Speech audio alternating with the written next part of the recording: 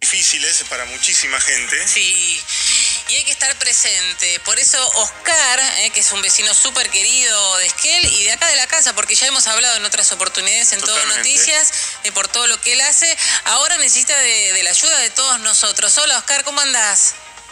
Hola, acá estamos eh, encerraditos nomás. Encerradito. Eh, contanos un poco eh, qué, mm, qué estás necesitando. Eh, nosotros el otro día este, eh, salió un video que lo hizo Franco Peláez acá en mi casa. Eh, la idea de- del, del mensaje es que nosotros hoy por hoy estamos en, eh, como es muy comprometidos con el tema económico, porque somos, eh, así como yo, habemos muchas personas que somos trabajadores independientes o, o- o hacemos changa y vivimos de lo que hacemos el día a día, porque es muy poco el ingreso que tenemos y, y, bueno, ahora ya directamente no, no hay más nada, o sea, se cortó todo lo que es changa y, o trabajos eh, que veníamos haciendo y, y bueno, eh, no, no, no estamos pasando una situación muy difícil y vemos que esto va a seguir este, empeorando Sí. porque eh, ya no podemos salir, encima yo soy una persona de riesgo porque tengo diabetes y, y estamos muy preocupados.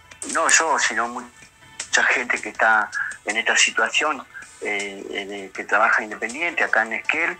Es una zona donde hay muchos desocupados, hace, hay más de 3.000 desocupados. eh, eh, ya veníamos mal, ya no se genera laburo, encima eh, ahora con esto empeoró nuestra situación.